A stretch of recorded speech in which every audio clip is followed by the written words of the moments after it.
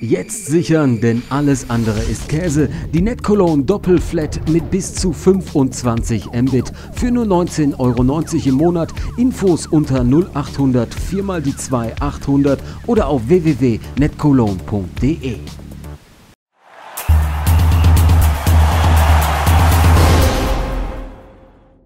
Ja, ähm, gibt ja jetzt nicht ganz so viel zu, Neues zu, zu berichten. Ähm, sehr viele Spiele jetzt in kürzester Zeit und gucken, dass wir die ganz, ganz vielen guten Dinge gegen St. Pauli, ähm, dass wir die mitnehmen, dass wir ähm, weiter so dominierend auch Fußball spielen. Ähm, kann mich nicht erinnern, dass St. Pauli mal in den letzten Jahren 22 Torschüsse gegen sich gehabt hat. Selbst zu Erstliga-Zeiten nicht. Und das spricht einfach dafür, dass wir sehr viele gute Situationen ähm, hatten im Spiel Leider nicht mit dem erhofften ähm, Resultat.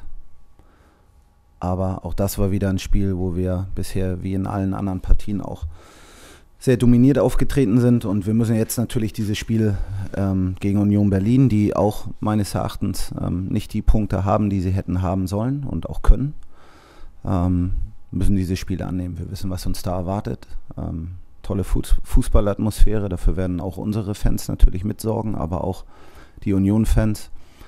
Richtiges Fußballstadion, ähm, eine Mannschaft, die sehr körperlich ähm, aufgestellt ist und auch sehr körperbetont Fußball spielt, sehr intensiv Fußball spielt. Das müssen wir annehmen und müssen dazu weiterhin guten Fußball spielen. Und ähm, dann wollen wir den nächsten Anlauf nehmen für den nächsten Dreier. Das war es eigentlich schon. Kurz und knapp.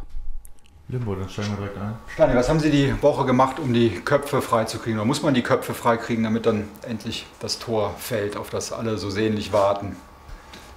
Ja, das ist, wir wollen da keine negativen Bilder aufbauen. Wir wissen ja alle, dass wir, ähm, dass, dass beim Fußballspielen Tore schießen ganz wichtig ist. Und ähm, wir haben jetzt, glaube ich, äh, ungefähr 100 Torschüsse in fünf Spielen gehabt und ähm, wir müssen ganz einfach weitermachen. Irgendwann wird diese Kugel auch, auch über die Linie rutschen und dann werden wir auch dieses ersehnte Tor haben, damit das dann auch irgendwann mal weg ist. Das ist wie so mit Serien.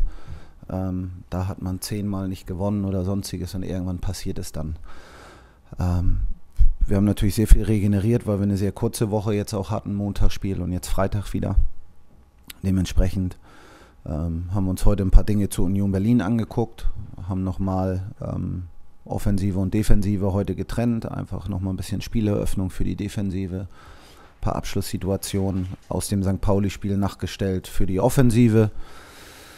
Und einfach ähm, jetzt langsam wieder den Akku hochfahren, die Konzentration hochfahren und dementsprechend ähm, fahren wir da auch voller Hoffnung und gestärkt nach Berlin.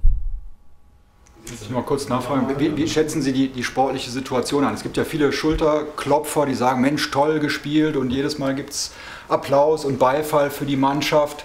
Ist das nicht vielleicht auch ein bisschen gefährlich, dass man sich da so ein bisschen blenden auch lässt, weil die Realität sind ja nur zwei Punkte und das ist ja schon ein richtiges Kellerduell gegen Berlin. Ja, das eine ist, am fünften Spieltag wollen wir noch nicht vom Kellerduell sprechen, aber das ist schon, oder am sechsten Spieltag, aber es ist schon, schon die Situation so, dass wir natürlich wissen, dass uns, dass wir ganz, ganz viele Punkte haben liegen lassen. Also ähm, wir hätten in jedem Spiel punkten müssen, ähm, haben es nicht getan. Das ist die, die Realität, das ist der Blick auf die, auf die Tabelle. Davor dürfen wir die Augen auch nicht verschließen.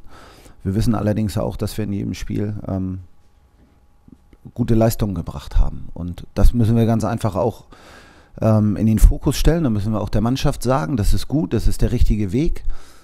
Wir brauchen natürlich irgendwann auch die Ergebnisse, das ist ganz klar, weil sonst ähm, ja, bleibst du weiter da unten und das ist das, was wir nicht wollen. Also wir können die, die Situation schon, schon realistisch einschätzen. Wir wissen schon, dass wir ähm, die Art und Weise, wie wir spielen, wie dominierend wir auch spielen können gegen die meisten Mannschaften, ähm, ist in Ordnung.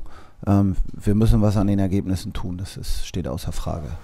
Ich einmal kurz nachfragen darf. Es gibt ja Experten, die sagen, also der FC muss eigentlich, den, wenn er realistisch ist, den Aufstieg schon abhaken. Sehen Sie das so oder ist das für Sie gar kein Thema jetzt in der Situation. Ja, ich habe ja vor der Saison noch gesehen, wenn wir aufsteigen würden, wäre es eine Weltsensation und solche Sachen. Das ist alles, ich, das überlasse ich den Fachleuten, ähm, wie sie den FC einschätzen. Und ich versuche mich auf meine bescheidene Arbeit zu konzentrieren, hier, die reichhaltig ist. Insofern habe ich nicht ganz so viel ähm, Zeit, mir über dann noch Dinge, die im nächsten Jahr passieren könnten, sollten, ähm, Gedanken zu machen. Das überlasse ich den Fachleuten.